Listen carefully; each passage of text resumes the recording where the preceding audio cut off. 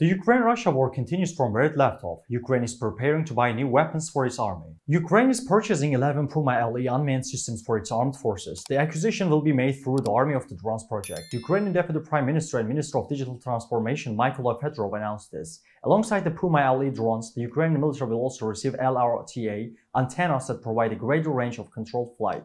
The transaction is worth UAH 541.67 million in total. These drones have a conventional thermal imaging camera with a 6x zoom.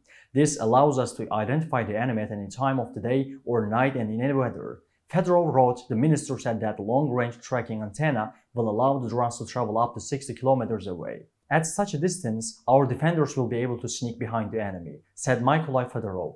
He also stated that the flight time of these drones is about 6 hours, and the maximum altitude is 3 kilometers.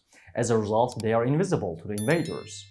To reach all actual news fast and reliable worldwide, please don't forget to follow and like us.